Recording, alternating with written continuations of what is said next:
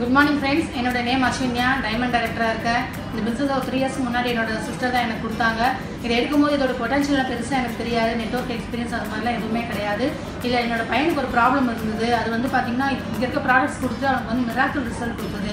இதை வந்து எல்லாத்தையும் ஷேர் பண்ணும்போது இது ஒரு பிஸ்னஸ் ஆப்பர்ச்சுனிட்டியாகவும் எனக்கு கிடச்சிது. அதன் மூலயமா வந்து பார்த்திங்கன்னா என்னோட ஹஸ்பண்ட் வந்து ஒரு லிமிட்டட் இன்கம் தான். ஸோ அதை வச்சு எனக்கு பிஸ்னஸ் ஃபேமிலி வந்து பெருசாக ரன் பண்ணி கொண்டு போக முடியல. என்னோட என்னை சுற்றி இருக்கவங்க எல்லாருமே ரிச் கேட்டகரி அந்த அளவுக்கு அந்த லெவலுக்கு போகணும்னு எனக்கும் ஆசை இருந்தது. ஆனால் வேறு சோர்ஸ் எதுவுமே இல்லை. வெஸ்டீஜ் வந்து பார்த்தீங்கன்னா அந்த எல்லாமே உடச்சி என்னை இந்த லெவல் கொண்டு வந்திருக்கு. என்ன அப்படின்னா நீ சாதாரண ஹவுஸ் ஒய்ஃப் ஒரு ஃபார்ட்டி தௌசண்ட் இன்கம் நான் கிராஸ் பண்ணி போயிட்டு இருக்கேன்.